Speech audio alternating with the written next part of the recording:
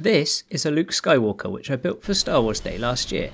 This year, well you've seen the title and thumbnail. I chose the dark side and built Darth Vader so he and Luke could fight. Here's how I built him and what happened next. As always with these projects, it started with 3D printing. A whole lot of 3D printing. Then I removed all the support material. I had to print the helmet in two parts so I had to glue them together. I knew I'd need to fill this gap, but I also messed up a few prints, so frustratingly I had repairs to do. So I filled, sanded, primed, and then painted. The end result wasn't perfect, but looked good enough for me. What you might not know is when working on these big projects, I often test it out with a small scale version. This is the one for this project. I'm going to give it away. All you need to do is find a 4 letter code I've hidden around this video and follow the link in the description to enter. Back to the video. Next step was to gather all the electrical and hardware bits required for the build, and then I could get building. I started with the lightsaber.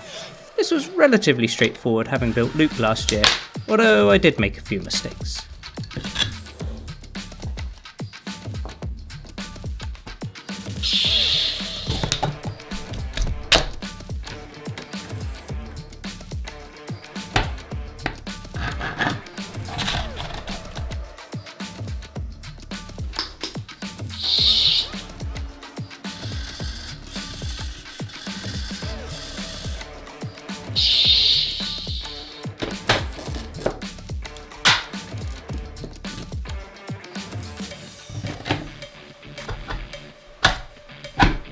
Now I needed to add his all important graphics, so I printed those out and got them applied.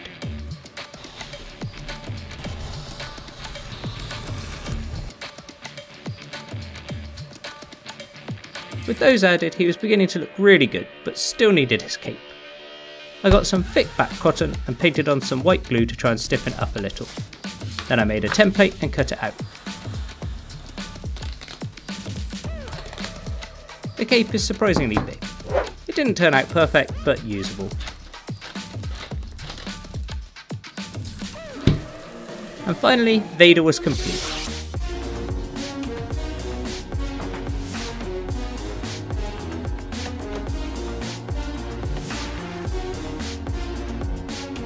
If you're wondering about height, the minifigure is 4.5cm, Mini Vader 27cm, and the big one 58cm. All that was left was to combine Luke and Vader, and after a little bit of coding, I had it so they'd both move in sync with each other.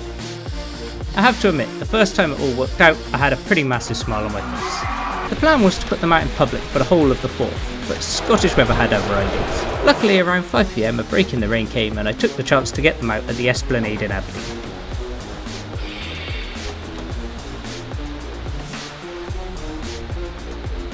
Then I stepped back a bit and watched a few reactions. It was so satisfying to see people stopping, smiling and grabbing a photo.